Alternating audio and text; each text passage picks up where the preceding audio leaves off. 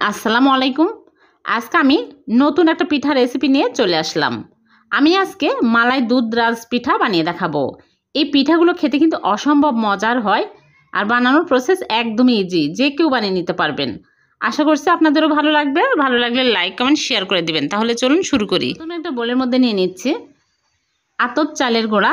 আতপ চাল আমি ভিজিয়ে রেখে গুঁড়া করে নিয়েছি ব্লেন্ডারে আপনারা চাইলে কেনা শুকনো চালের গুঁড়াও নিতে পারেন।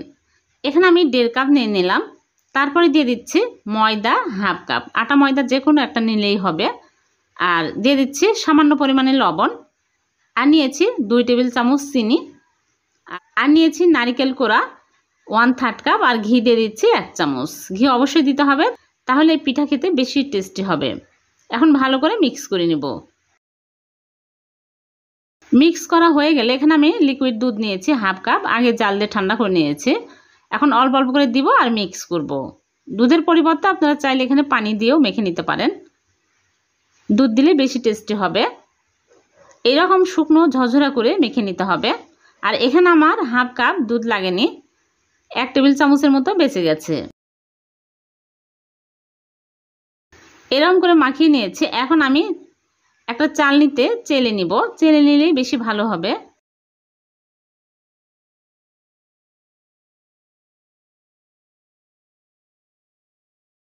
সবগুলো চেলে নিয়েছি। এখন আমি এই বাটি এক সাইডে রেখে দিচ্ছি। আর এখানে আমি চারটা স্টিলের বাটি নিয়েছি, ছোট সাইজের বাটি। এই বাটিতে ঘি ব্রাশ করে নিচ্ছি, তাহলে খুব সহজে মোল্ড আউট করা যাবে। এখন আমি বাটিতে তুলে নিচ্ছি।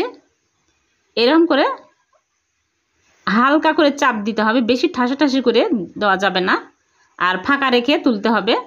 সবগুলোতে আমি তুলে নিয়েছি। এখন আমি পানির ভাপে দেওয়ার জন্য চুলে একটা পাত্রে পরিমাণ মতো পানি দিয়ে পানি ফুটিয়ে নিয়েছি। একটা স্ট্রেনার বসিয়ে দিলাম। এই স্ট্রেনারের উপরে আমি একটা একটা করে বসিয়ে দিচ্ছি। চারটা একবার হবে না, তিনটা দিয়ে দিচ্ছি। পরে আমি আর একটা ভাপে দিব। এখন ঢেকে রেখে দিচ্ছি বারো মিনিট।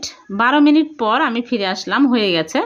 এখন চুলা থেকে নামিয়ে নিচ্ছি। চুলা থেকে নামিয়ে প্লেটে তুলে আপনাদেরকে দেখাচ্ছি।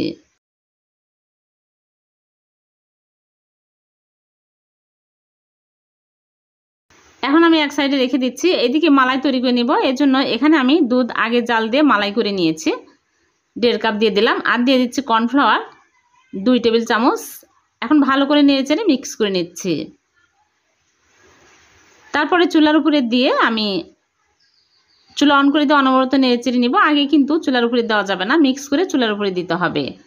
এখন আমি নেড়ে চেড়ে এর মধ্যে দিয়ে দিচ্ছি খেজুরের গুড়। খেজুরের লিকুইড গুড় দিয়ে দিচ্ছি। হাফ কাপ নিয়েছি। অল্প অল্প করে দিব আর মিক্স করব। খেজুরের গুড় দিলে এই পিঠাটা বেশি টেস্টি হবে। অনবরত নেড়ে চেড়ে এইরকম ঘন হয়ে আসলে চুলা থেকে নামিয়ে নিতে হবে। এর চেয়ে ঘন করা যাবে না। তাহলে ঠান্ডা হলে আর শক্ত হয়ে যাবে। এখন আমি চুলা থেকে নামিয়ে সাথে সাথেই এই পিঠার উপরে দিয়ে দিচ্ছি।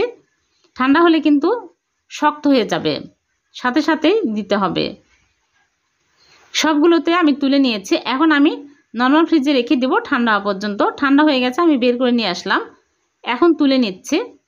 এরকম করে একটু চাপ দিলে উঠে আসছে, দেখুন। ঘি ব্রাশ করার কারণে কিন্তু খুব সহজে মোল্ড আউট করা গেল।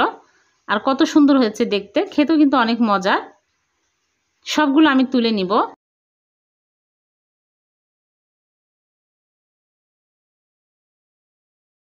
সবগুলো তুলে নিয়েছি।